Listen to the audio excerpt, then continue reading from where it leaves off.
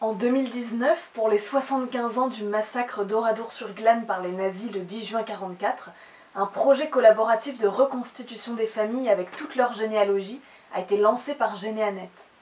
La généalogie est aussi un devoir de mémoire. Le 10 juin 1944, les SS de la division Das rassemblent toute la population de ce village du Limousin, hommes, femmes et enfants, et les mitraillent ou les brûlent dans les bâtiments où ils ont été enfermés. 80 personnes se sont mobilisées pendant un an en partant de la liste officielle des 642 victimes. Enfin, 643 en réalité, car ils en ont retrouvé une de plus. La recherche. Photos, état civil, recensement, documents d'archives, tout a été exploré, collecté, retranscrit avec l'aide des archives départementales et de deux survivants. Les arbres. Dans les villages d'autrefois, les habitants étaient plus ou moins de lointains cousins.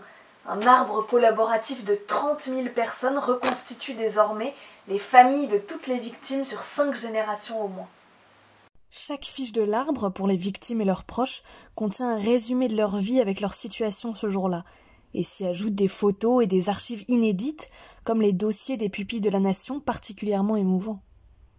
Le lieu de vie, ce travail inédit a permis de situer de la façon la plus précise possible le lieu d'habitation dans le bourg ou les hameaux des victimes, des rescapés ou des absents. Sur place ou sur le site, vous pouvez voir exactement quelle famille vivait dans quelle maison et retrouver leur histoire.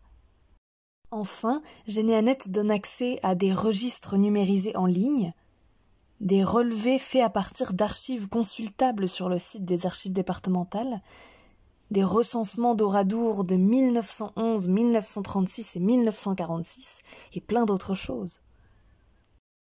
Des livres pour en apprendre plus.